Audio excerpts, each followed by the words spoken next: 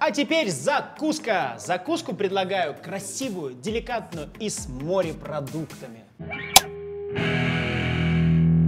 Морепродукты – это любимый деликатес в нашей стране.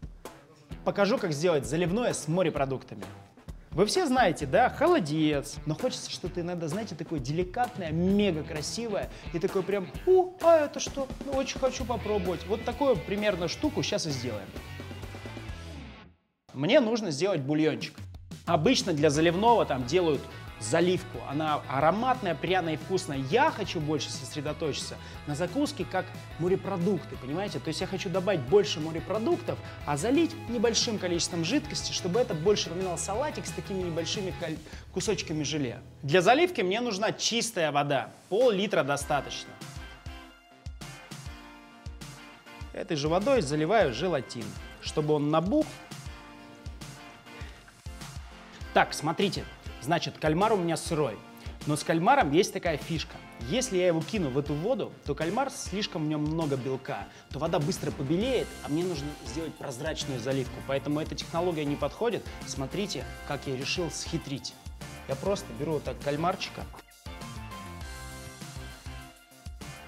Круто, если у вас кальмар целиком тушкой, тогда вы сможете его в итоге нарезать колечками и красиво выложить. Если вдруг не нашли тушкой, ничего страшного, пускай его с кусочками, но делайте с ним все то же самое, что и делаю я. Значит, кальмарчик предварительно зашпариваем кипятком, просто вот так заливаем, смотрите, он сейчас начинает съеживаться. Видите, вода какая у него становится? Такая белая, такая противная. Вот так вот. Нам такая вода не нужна. Вот теперь, когда этот уже кальмар кинул в эту воду нашу, заливочку, то он уже не отдаст только белого цвета, и бульончик останется прозрачным. Запомнили? Максим, знаешь, брови не повыдергивать? Давай. Ну, к Новому году сделаю красивые глазки. Давай. Это знаешь, когда я запомнил? Потому что Оля мне раньше сидит на диване где-нибудь в обнимку лежим, она такая смотрит, надо бы тебе бровки выщипать, чтобы глазки открылись. Мария, ну тебе не понять. Смотрите, водичка закипает, отправляем туда наши зашпаренные кальмарчики. Вот так вот. Опа. Вы знаете, что кальмар варится очень быстро. Ух ты, а что ты? Ожил, смотри. А что, э? Буквально пару минуток и готово. Убедитесь, что вода попала внутрь тушки. Вот так вот. Потому что он сверху может свариться, а внутри остаться сырой. Поэтому вот приоткройте его вот так. Внутри полость. И убедитесь, что туда водичка тоже горячая попала, кальмарчик там поварился.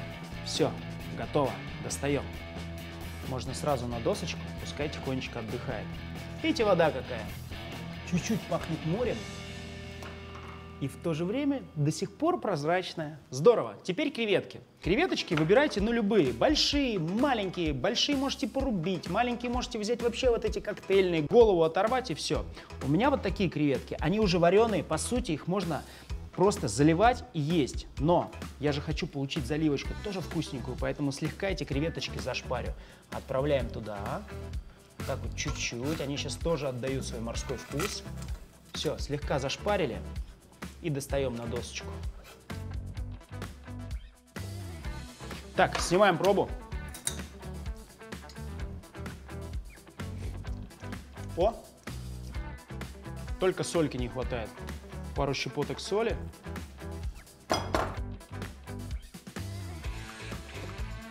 О! Вот теперь вкусно.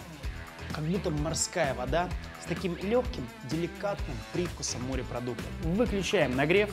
Осталось только добавить в нее желатин. Лишнюю воду отжимаем и желатин отправляем в кастрюльку. Заливочка готова. Пусть желатиновый бульончик настоится немного. Так, кальмар остыл. Стараемся теперь его нарезать аккуратными такими вот кружочками. Раз, кольцами. Любите морепродукты? Морепродукты у нас всегда в России ассоциируются с чем-то деликатесным.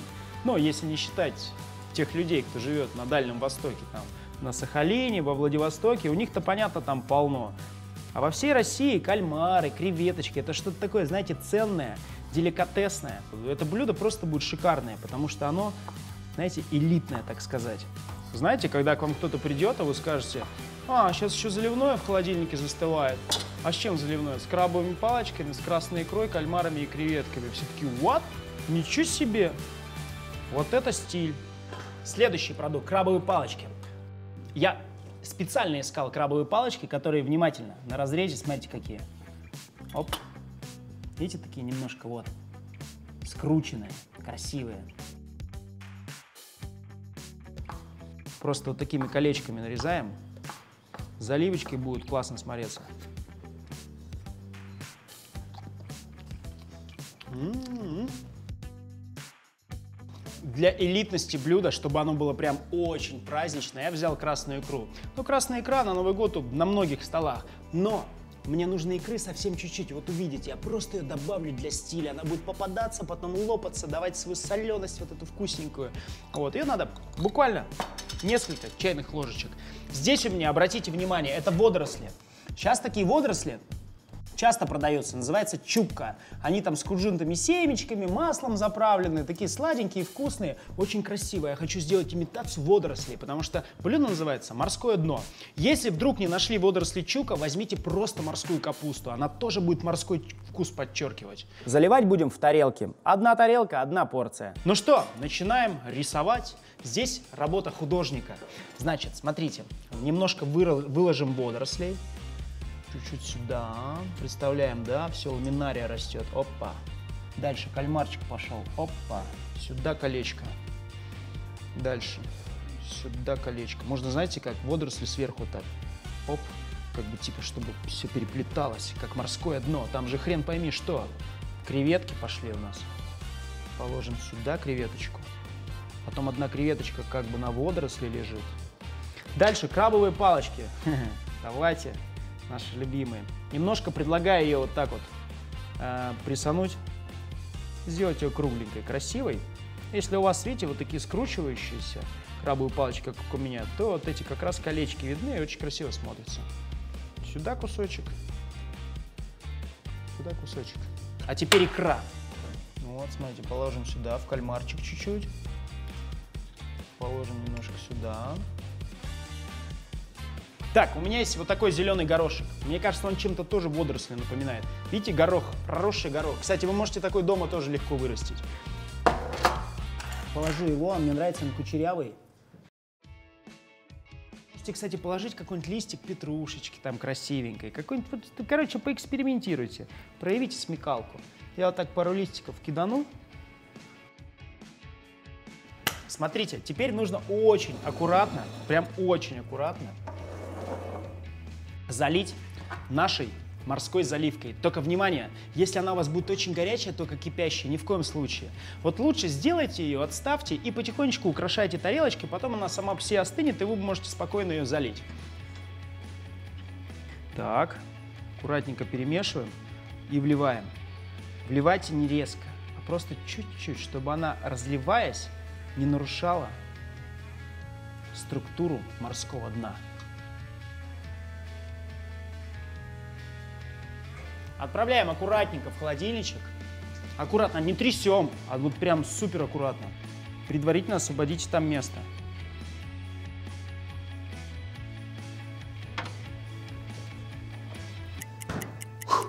Ждем.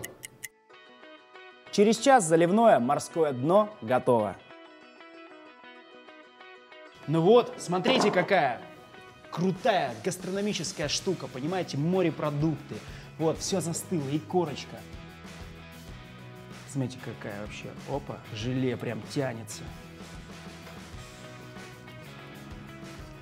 Ммм, как вкусно, а?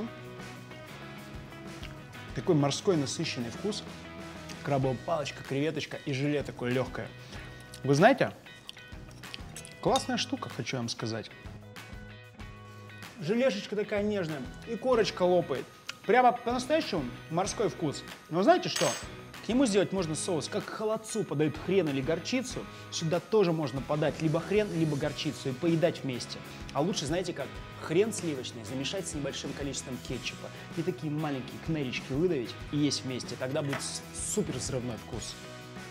Да, и еще эта закуска очень легкая для тех, кто следит за калорийностью своей пищи.